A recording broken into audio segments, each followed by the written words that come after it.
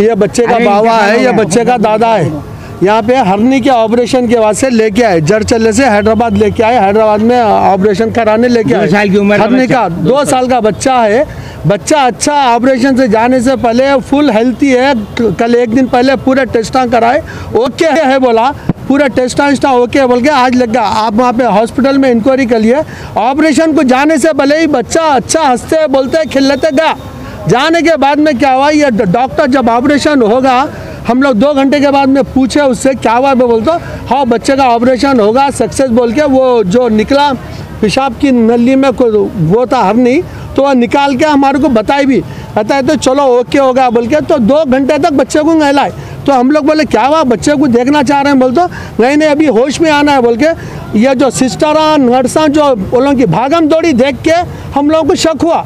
शक होने के बाद तो हम लोग जाके डॉक्टर से अंदर ज़बरदस्ती अंदर घुसे तो जब बोल रहा कि एक्सपायर होगा बच्चा। बच्चे का हार्ट फेल होगा बोल रहा। हरनी का ऑपरेशन है। बच्चे का हार्ट फेल कैसा होता? ये अनस्थेशिया ओवरडोज देने की वजह से ये हॉस्पिटल ये ये बच्चे का एक्सपायर हुआ। तो हमारी रिक्वेस्ट ये है अकबर हुसैन का हॉस्पिटल बंद होना और उसको सजा होना। और ये बच्चे को तीन बेटियों के बाद में एक बच्चा था ये। ये एक ही बच्चा। कल आए। कल हल लायक कल लाने के बाद में पूरे टेस्टा वेस्टा सब हुए।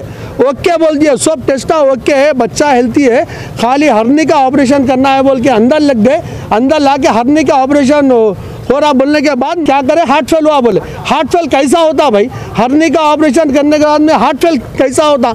एक एनेस्थेशिया ओवरडोज देने की वजह से बच्चे का बच्चा एक्सपायर हुआ बच्चा एक्सपायर हुआ। वो डॉक्टरों की गलती की वजह से बच्चा मर गया हमारा। तीन बेटियों के बाद में एक बेटा था वो हमारा। और हम जड़ चलने से आए हुए हैं यहाँ पे। नहीं बच्ची का नाना यहीं रहता हूँ। ये बच्ची का बच्ची के वालिद साहब है वो बच्ची के दादा है। अब वो लोग पूरा ये इसका हमारे को ये हॉस्पिटल बनो ना बस। और इसका हमारे को क्या है आप लोग देखना।